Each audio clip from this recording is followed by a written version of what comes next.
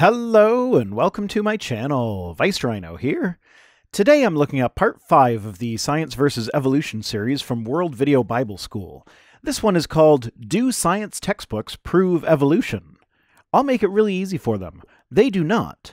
However, the countless hours of research that has gone into collecting and analyzing the data that the textbooks are based on do demonstrate evolution to be the mechanism behind biodiversity. So that's fun. Also, apologies for my squeaky voice. It's a little squeaky. I'm sorry.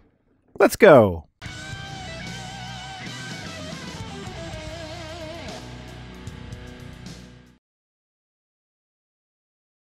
The law of rationality in philosophy says that a person should only draw conclusions that can be drawn from the evidence. Nope, it sure doesn't. There is no law of rationality. The main thing that comes up when I search for the law of rationality is the law of rational indices, which states that the intercepts OP, OQ, OR of the natural faces of a crystal form within the unit cell axis A, B, C are inversely proportional to prime integers H, K, and L. I have no idea what this means, but I am quite confident that this is not just a fancy way of saying that a person should only draw conclusions that can be drawn from the evidence. But all that being said, I would agree that when looking at a scientific topic, one should examine the evidence and formulate conclusions that the evidence points to. Evolutionists believe that they have found scientific evidence to support their theory. If it can be shown to be illegitimate, then evolution proves to be an irrational belief. Well, then, you've certainly got your work cut out for you, don't you? Between molecular biology, biogeography, homology, embryology, paleontology, phylogenetics, actual observation, and more, there is a boatload of evidence that points to evolution, and it all has to be discredited before we have any reason to start considering other options. If you were to ask an evolutionist, where's the proof for evolution? You're probably going to hear a discussion of some or all of these alleged proofs of evolution that are on the screen. Yes, all of those except embryonic recapitulation are indeed lines of evidence for evolution, though horse and whale evolution could be combined with fossil evidence to form one category if we're looking at it broadly. But if we're getting specific enough to get into horse and whale evolution, we also have hominid evolution, the reptile mammal transition, and a few others. But I just want to make a prediction now. You see, comparative embryology is an excellent line of evidence for evolution, but it is not the same thing as embryonic recapitulation. Embryonic recapitulation was an idea in the 1800s that an embryo, as it developed, would go through stages that were representative of the adult forms of that organism's evolutionary ancestors. We know now what is actually happening is that the related organisms will have similar embryos during the early stages, but as the embryo develops, the different species embryos will diverge from each other to be more like the adult form of whatever species it is. But creationists love to bring up the fact that Ernst Haeckel, one of the main supporters of recapitulation theory in the late 1800s, 1800s, fudged some of his embryo drawings to make them look more similar to each other in the later stages than they actually were. He was called out for that almost immediately, but here's the thing. It's possible that Haeckel has been raked through the coals over nothing.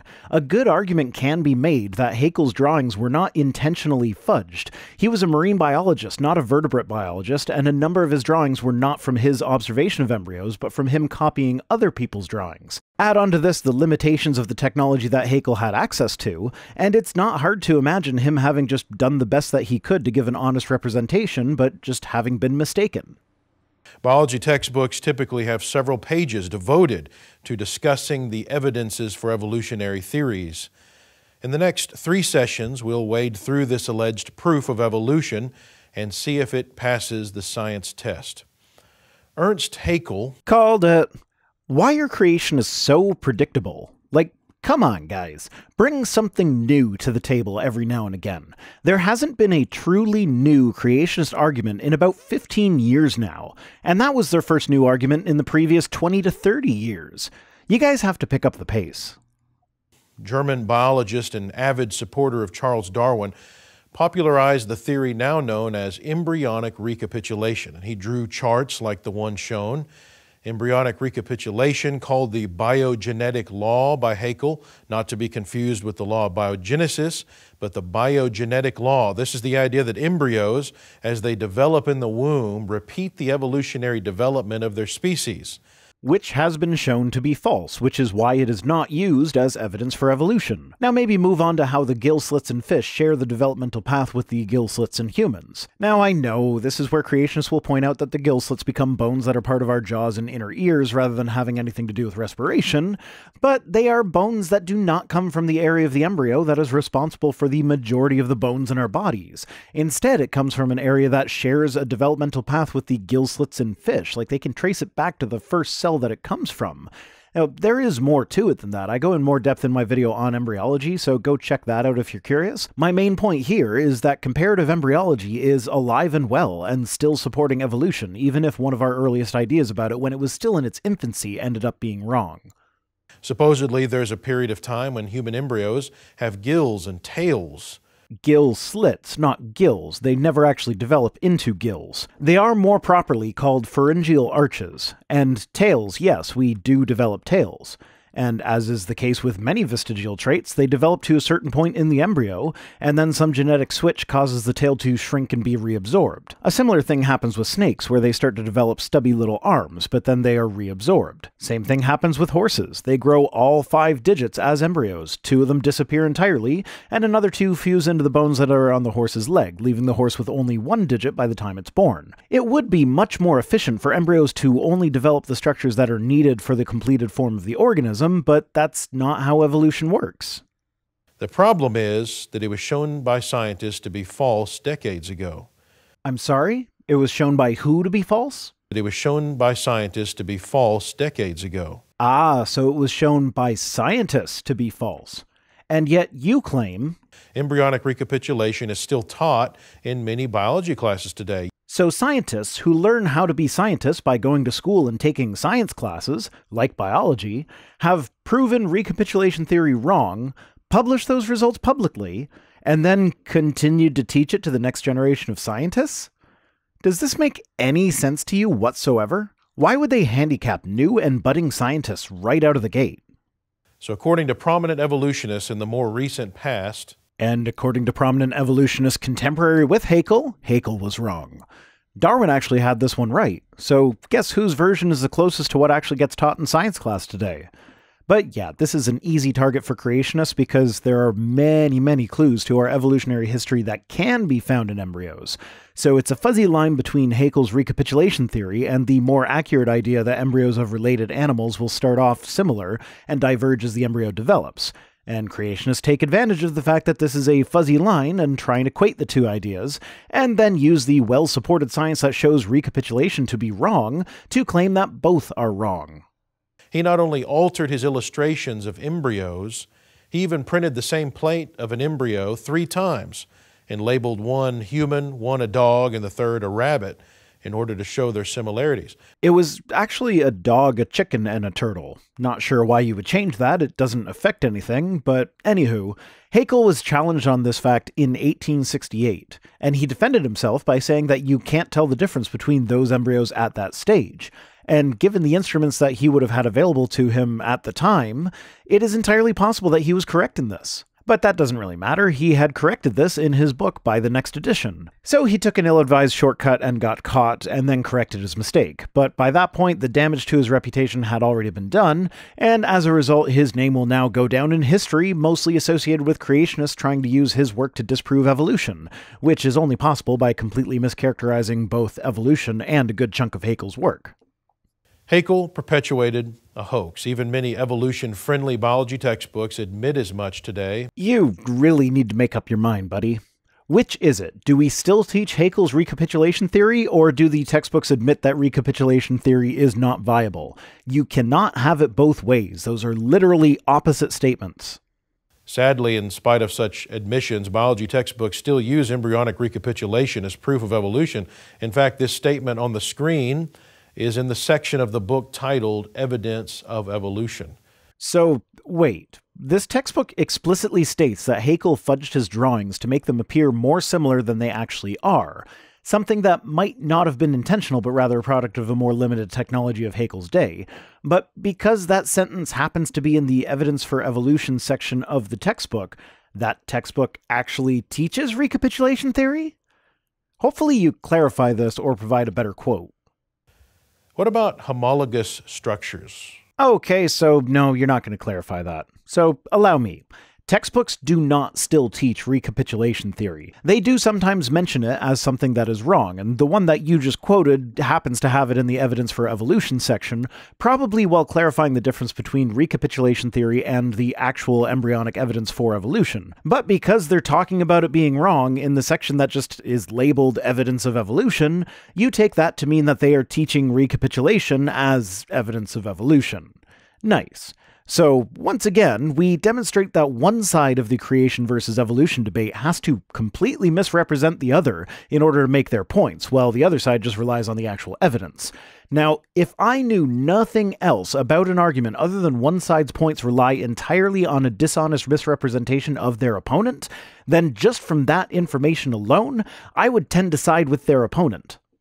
What's that argument all about? Evolutionists argue that many vertebrate species have structures that are constructed from the same basic bones and therefore are similar. No, it's more than just it being the same basic bones. It's also the order in which the bones appear. The entire vertebrate skeletal system, no matter which species of vertebrate you are looking at, has the same order to the bones, even when the bones are quite different.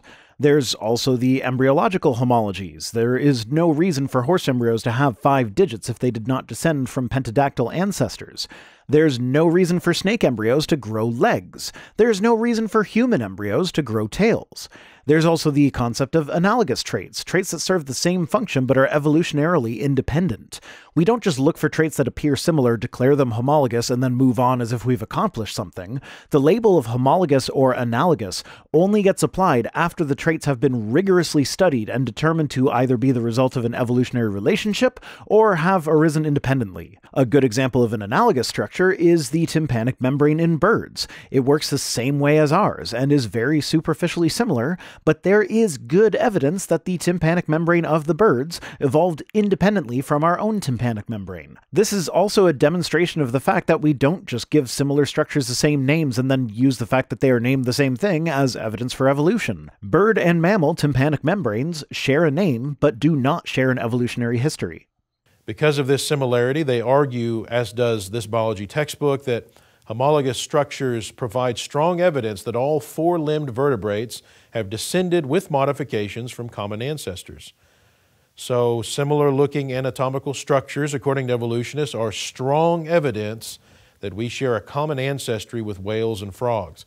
Yes, because descent with modification is the name of the game. You could, through small modifications in each generation, move from a human skeleton to a frog skeleton or a whale skeleton. You wouldn't need to change the order of the bones, just change their shape slightly with every generation. Now, of course, I am not suggesting that humans are going to evolve into frogs or whales anytime in the future, but since we share a common ancestor with both frogs and whales, it stands to reason that the body plans will be somewhat similar. And they are. More than somewhat, in fact. They're pretty much identical. First of all, it's important to realize that creationists don't deny that similarities exist between different creatures. Creationists don't deny the evidence, there's no need to. While I do not deny that you don't deny that there are similarities between creatures, you did spend the first seven minutes of this video in denial mode with the embryology thing. If there were no need to deny the evidence, then there would be no need to bring up recapitulation theory when talking about embryology, because that's not where anyone thinks the evidence points. It always harmonizes with the true creation model. The problem isn't the evidence, it's the interpretation by evolutionists of that evidence. While the evolutionist says that similarities prove a common ancestor, the creationist says that commonalities prove a common designer.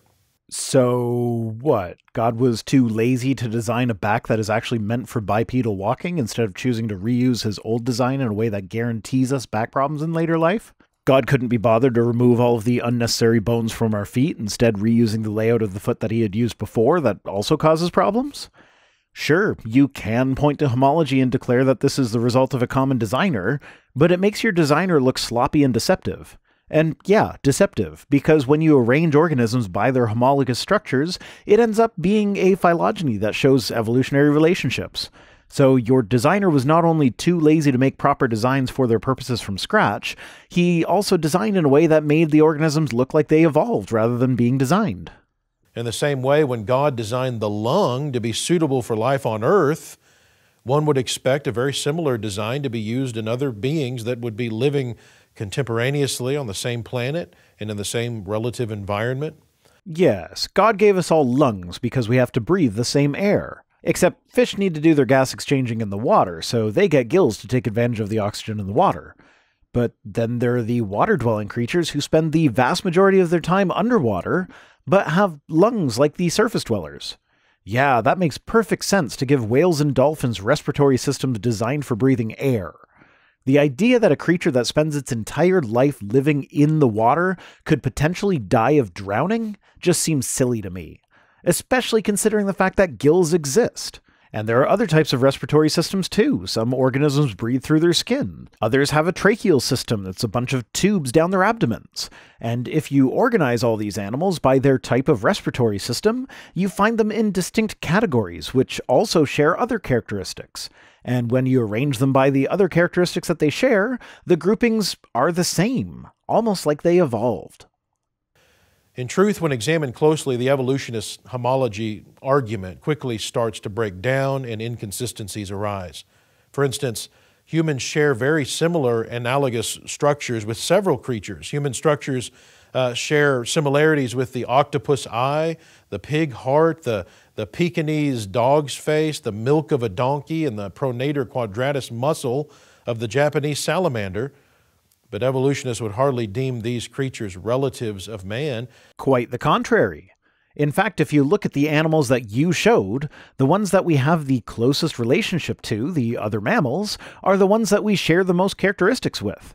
You are correct that the octopus eye is analogous rather than homologous. Octopuses actually have better eyes than we do, but there's not a whole lot of commonality between the octopus and the humans. The lizard, though, that is definitely not as similar to humans as the three mammals that you have there, but it is a lot more similar to humans than the octopus. It's a tetrapod vertebrate.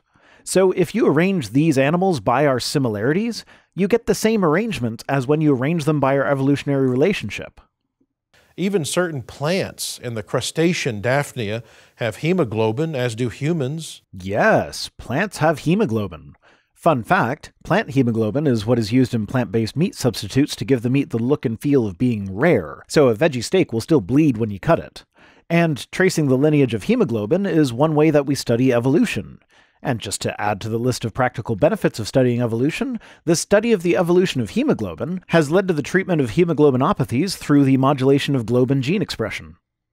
Are these close relations of man? Not a close relation, no. And that's why their hemoglobin is a different structure from ours. That's convergent evolution. And another inconsistency if similarity proves common ancestry, then shouldn't dissimilarity prove no common ancestry? No, not at all.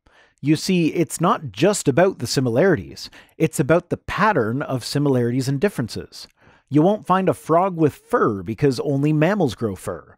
You won't find a dog with feathers because only dinosaurs grow feathers. You won't find an earthworm with a backbone because only vertebrates have backbones. And the more of these traits that you compare, the more clear the picture of the evolutionary tree of life becomes. And then we find that evolutionary trees that are constructed using completely independent methods result in identical trees within a reasonable margin for error. If everything were designed, that designer went to a lot of trouble to make everything appear related. There's more dissimilarities between humans and other animals than there are similarities. That depends very much on which other animals you're talking about. Chimps and humans probably have more in common than you'd care to admit, but yeah, we are quite different from octopuses. So the homology argument only works when you pick and choose. In truth, it makes more sense that there was a common designer of these creatures who used certain structural features several times in many different creatures due to the fact that these anatomical structures deal uh, are ideal for life in similar environments on this same planet. So, for whales and dolphins, air breathing lungs were the ideal method of gas exchange? Your god wasn't creative enough to come up with some sort of hybrid system that would allow them to breathe both air and water? Oh, but wait, he did because labyrinth fish are a thing. You know those fish that have both a gill system and a labyrinth organ that allows them to breathe air? So God was creative enough to design a system like that. He just couldn't figure out how to scale it up. And it just so happens that the only marine creatures to have mammal style hair also happen to be the ones with lungs, and who feed their offspring with milk. etc. We don't just find something that is similar, declare it to be the result of evolution, and call it a day. It's about the pattern of similarities and differences. The homology argument can hardly be used as solid evidence for evolution when structural similarities can easily be interpreted in another way, a way that doesn't contain inconsistencies and therefore is more in line with the evidence. There are far fewer inconsistencies in the evolutionary interpretation than in the young Earth creationist interpretation. You haven't even successfully pointed out one inconsistency yet. And yet, I can bring up the issues with the bad design that can be found all over the natural world. But your designer is supposed to be perfect. The only way the inconsistencies can be removed from the creationist interpretation is if your designer was sloppy, lazy, deceptive, and at times counterproductive. If that's a picture of God that you're okay with, then sure, go ahead and continue insisting that there are no inconsistencies in your interpretation. What about genetic similarities? Haven't scientists discovered that human DNA is like 98 to 99% identical to chimpanzee DNA? That depends very much on how you are calculating the similarity, because it's not as cut and dry as just sequencing the two genomes and then doing a letter by letter comparison. What happens if a large section of genetic material is duplicated in one species but not in the other? Does that count as one change or thousands of changes?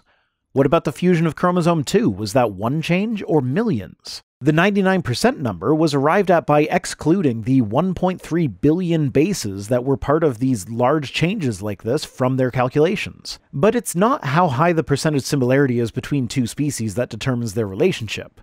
In the case of molecular biology, we can actually construct phylogenies based on single genes. That is, we examine the same gene in several species, compare the similarities and differences, and build a tree of relationships between the different variants of the genes based on a rigorous statistical analysis of sometimes thousands of potential trees. We will then use this data to figure out the lineage of this gene. We can then do this with multiple other genes and endogenous retroviruses, and there is a very high level of agreement between all the different phylogenies that are arrived at through independent methods. This is indicative of actual relationships rather than just the appearance of relationship. There is no reason that analyses of several different genes should independently result in matching phylogenies if they are not actually related. Now I'm skipping over a bit here as he gives a long winded intro to a quote from a geneticist that points out that because in DNA sequences there are only four base pairs to choose from, two completely unrelated DNA sequences would be expected to have about 25% similarity just from random chance alone, which by itself has some significant problems that I'm sure are dealt with in the book that this number is being pulled from, but I just wanted to give you that statement as context for what comes next. So, using the same DNA comparisons that are used to compare chimps and humans, a daffodil is 25% human genetically. I would like to see your source for that, because using the same methods that got us the 99% number for chimps and humans, I would expect the daffodil number to be somewhere around the 50 to 60% mark, roughly the same as bananas. Because one of the issues with the 25% similar in unrelated genetic sequences number is that it ignores similarity of sequences. One in four base pairs should match up, but there should not be long stretches of identical bases.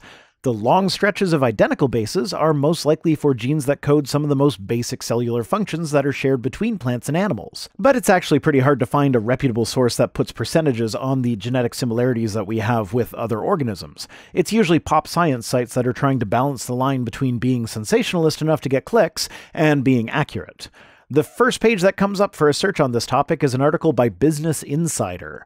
Surely, when looking for accurate information on evolutionary genetics, Business Insider should be your go to source. Actual scientific publications usually avoid pinning specific numbers on our genetic similarities with other organisms in such simplistic terms, because the scientists that are doing that work understand that it is a lot more complicated than a simple percentage would indicate. Looking at the 2005 study that many popular science publications cited as their source for the 96% similarity with chimps number, I can't even be sure that I found where in that study the number originates. It looks like it might be from this section on insertions and deletions, where they say that the indel difference corresponds to approximately 3% of both genomes, but 96 as a percentage only shows up once in the entire paper with reference to how short covered insertions are. 96% of them are shorter than 20 base pairs. I'm not sure what a covered insertion is, but it is definitely not total percentage difference between the genomes. 4% shows up as how many genes have a faster than expected neutral substitution rate, so that's not the total difference between genomes either.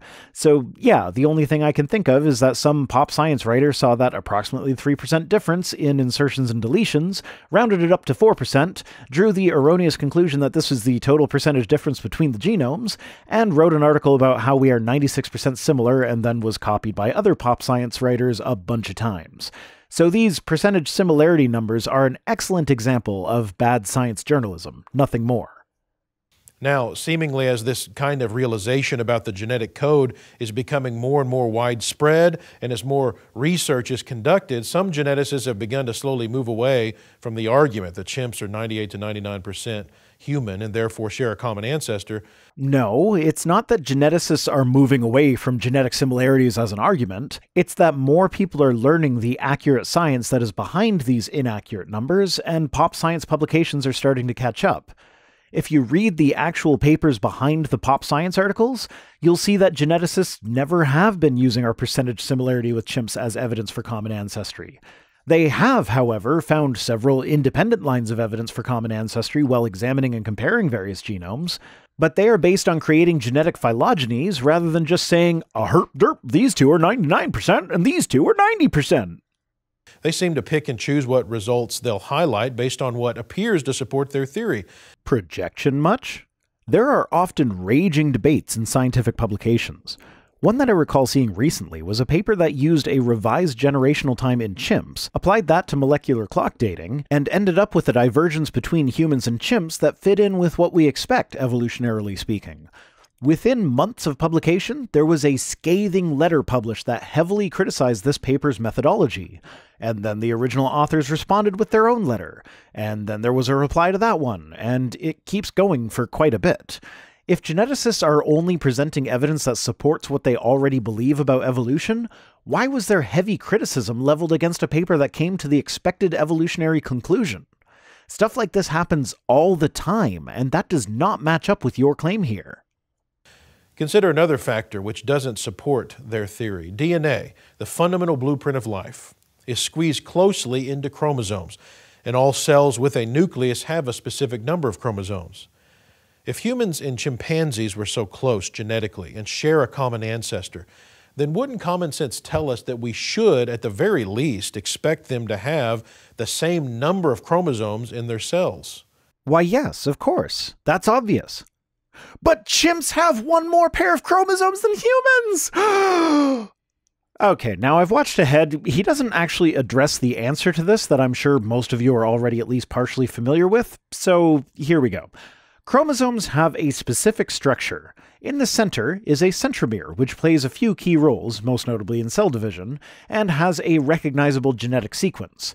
At both ends of the chromosome, we find the telomeres, which are simple repeating patterns of DNA that also serve a few functions, such as the maintenance of the ends of the chromosomes. In fact, in great apes, the telomeres are always the sequence TTAGGG repeated from 500 to 3500 times. These are two chromosomal structures that are easy to recognize. So, chimps have one more pair of chromosomes than humans do, and yet we consider chimps to be our closest living relatives. So, what happened to the extra pair of chromosomes? Well, if we look at chromosome 2, we find that it not only has a telomere in its middle, it actually has a pre telomeric sequence followed by a telomeric sequence, followed by an inverted telomeric sequence, followed by an inverted pre telomeric sequence, right in its middle, as if the bottom of two chromosomes just got stuck together. Now, if this were the case, you would expect to find two centromere sequences. And you do the actual centromere of the chromosome and a second non functional centromere, and they're both separated by the telomeric sequence that I mentioned earlier that's right in the middle of the chromosome. Consider this a strict comparison of chromosome numbers would indicate that humans are more closely related to the Chinese muntjac, a small deer found in Taiwan's mountainous regions, than to a chimp, because the muntjac has 46 chromosomes, just like man. And a chimp would be most closely related to the tobacco plant, which has 48 chromosomes like the chimp. It's a good thing that we're not just counting the numbers of chromosomes to determine relatedness then. Now, this might come as a surprise to you, but what is contained in those chromosomes is more important when determining relationships than how many of those chromosomes there are. Clearly, genetic similarities or dissimilarities in no way prove a common ancestry. The number of chromosomes is not a measure of genetic similarity or dissimilarity. To my knowledge, it has never been used as such. And I think that's where I'll leave it for today. I guess this one's going to be another two parter. Today's comment of the day comes to us from DC Wilson, who says Creationist. Evolution means any animal species should suddenly give birth to any other animal species, regardless of how different they are.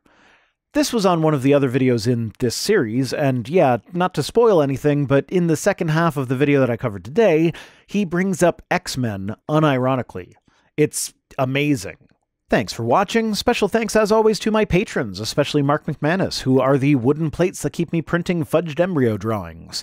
If you'd like to enable my fraudulent activity, you can support the channel for as little as $1 per week over at patreon.com slash vicedrhino. Other ways to support the channel, such as direct donation or my Amazon wishlist, are linked in the description, as well as my social media accounts and my P.O. Box address. See you next time!